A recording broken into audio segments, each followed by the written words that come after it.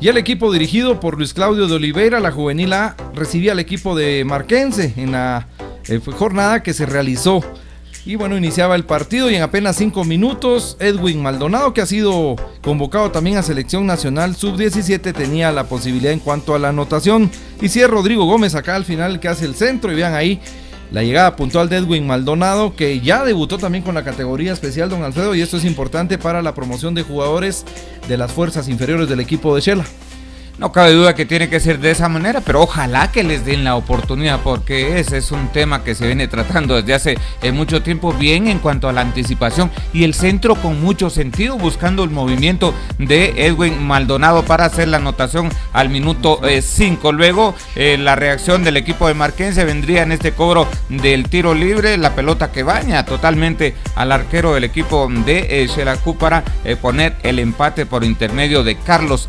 Alonso al minuto 12, siempre del el primer tiempo. Y era un partido en el cual pues se emparejaba el marcador, algunas acciones que se dieron, el equipo de Shela que al final eh, pues la, desesperación fue presa fácil. Porque vendrían jugadas como esta, donde el equipo de Marquense anunciaba eh, este disparo del equipo de Shela que iba a pasar muy cerca de la portería del equipo de Marquense, pero al final, ya en la segunda parte, vendría eh, pues la definición del partido a través de Mercandino Vázquez al minuto 14 ve adelantado al guardameta don Alfredo y ve ahí donde la pone para la victoria al final del equipo de Marquense 2 a 1 en esta categoría. Y Shela se preparó para visitar al equipo de Malacateco es eh, como se estará jugando entonces esta eh, próxima jornada también contra la categoría en de el equipo del Deportivo Malacateco y bueno, buena anotación definitivamente a través de Mercandino Vázquez para Marquense. Y Marquense le saca los seis puntos en los dos partidos porque había ganado en la primera vuelta y ahora pues gana en Quetzaltenango, pero escuchemos a los protagonistas en relación a la jornada de este eh, fin de sí, estamos listos para viajar a Malacatán. lastimosamente no se dio el resultado el sábado pasado contra Marquense Caímos 2-1 en casa, que la verdad no, no tuvo que eh, haber, sido así, pero yo creo que en el fútbol de todo se aprende y nosotros trabajamos bastante duro esta semana para lograr sacar un buen resultado en Malacatán.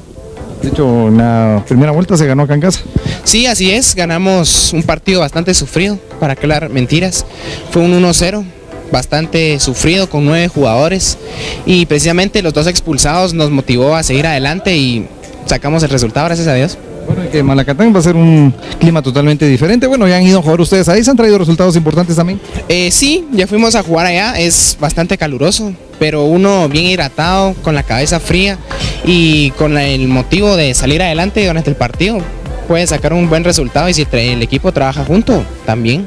No ha sido nada fácil, el inicio del torneo nos ha costado,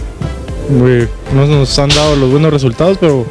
con la confianza de que hemos tenido con los compañeros, pues hemos ido sacando los resultados y gracias a Dios ya vamos eh, ya en una mejor posición como la de que iniciamos en el torneo, ¿verdad? Un equipo interesante que enfrentan este sábado al equipo de Malacateco, que trabaja muy bien también estas categorías. Sí, la verdad es que el sábado nos toca contra Malacatán, no es nada fácil, va a ser un partido muy difícil, eh, van a estar en su clima, en su cancha, en su afición y la verdad es que eh, estamos muy eh, preparados físicamente para ir a pelear los tres puntos porque tenemos que sumar afuera. La verdad es que eh, estamos muy bien, ya nos estamos hidratando para salir adelante, ¿verdad?